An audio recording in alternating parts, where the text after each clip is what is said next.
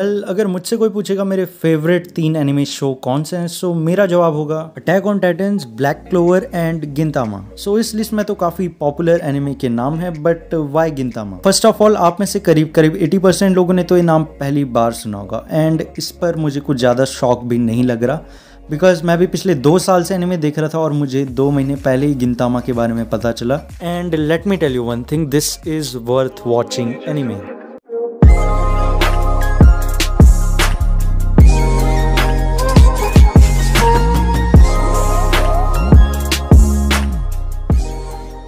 Gintama एक comedy action slice of life anime है जिस पर आपको 353 एपिसोड्स मिल जाएँगे। एंड हाँ अगर आप में से कोई गिनतामा देखना शुरू करना चाहता है सो उसके लिए मेरे पास दो सजेशंस हैं। फ़र्स्ट अगर आपने अभी अभी एनिमे देखना शुरू किया सो आई वॉन्ट रिकमेंड कि आप गिनतामा देखो बिकॉज़ इस एनिमे में आपको बहुत सारे दूसरे शोज़ का रेफरेंस मिल जाएगा। आई I मीन mean, बहुत सारे एनिमे शोज़ का रेफरेंस मिल जाएगा। एंड इसके काफ़ी जोक आपको तब तक समझ नहीं आएँगे जब तक आपको जैपनीज कल्चर की थोड़ी बहुत नॉलेज ना हो। एंड इसके first two episode since they are filler इतना इंट्रोडक्शन आई गेस काफ़ी है so now let's talk about what makes it so special so ये स्टोरी फॉलो करती है गिंतोकी नाम के कैरेक्टर को, जो एडो नाम की सिटी पर रहता है, जहाँ पर कभी समुराय रहा करते थे।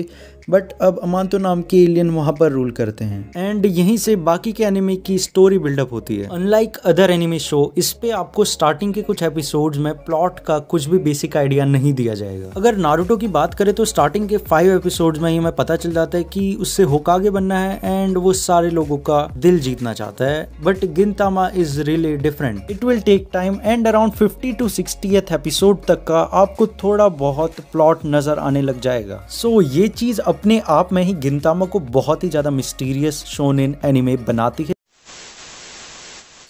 करीब करीब गिनतामा के सारे ही कैरेक्टर्स शो को बहुत ज़्यादा फनी बनाते हैं बट मुझे लगता है कि ये तीन कैरेक्टर शो को बहुत ही अलग लेवल का बनाते हैं।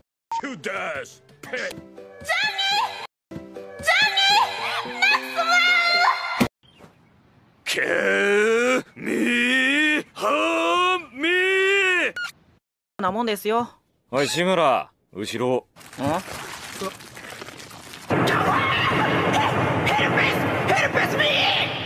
Help me now! Intoki's serious attitude with comic timing makes it hard not to laugh even during some of the most serious situations.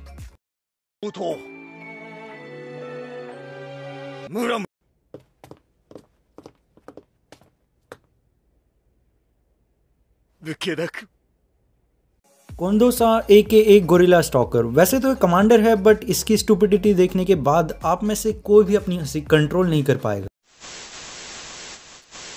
So so, Gintama में enemy uses humour to make jokes funny and कभी कभी तो dark humour का भी इस्तेमाल कर लेते हैं फॉर एग्जाम्पल एक बार इन्होंने डोनाल्ड ट्रम्प के ऊपर भी एक जोक बनाया था では初代総理大臣ドナルド・ズランプ君の挨拶ズランプじゃない 桂だああ終わるなこの国私は日本国初代総理大臣ドナルド・ズランプである पॉलिटिकल लीडर्स ही नहीं गिनतामा ने तो अपने खुद के एनिमेटर्स को भी ट्रोल किया है あその時は開き直って原作の頭から再アニメ化したりキャラ